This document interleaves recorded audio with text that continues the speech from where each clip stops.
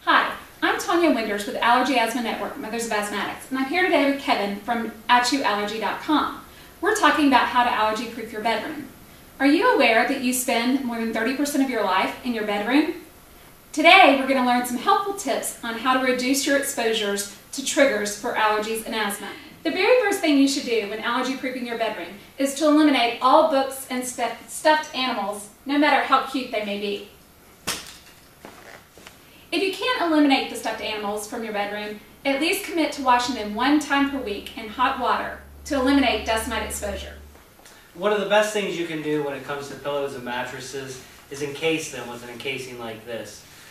These specially woven covers block the dust mite allergen. It's in mattresses or pillows.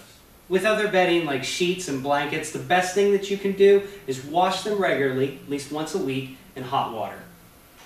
When allergy proofing your bedroom, it's important to vacuum frequently. It's recommended that you vacuum with a HEPA filter at least two times per week to control the dust mites. Another type of HEPA device would be a certified HEPA air purifier. This type of device actually cleans the air in your home, removes things like pollen and pet dander from the air that you breathe. It's also important to gauge the humidity in your bedroom. This helpful device could help monitor the humidity in your room.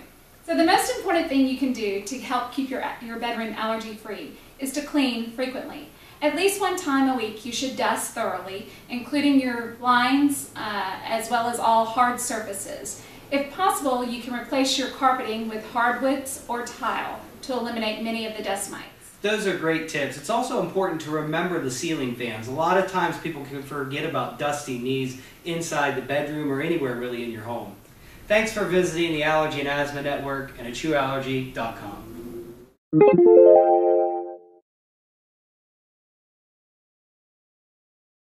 Hi,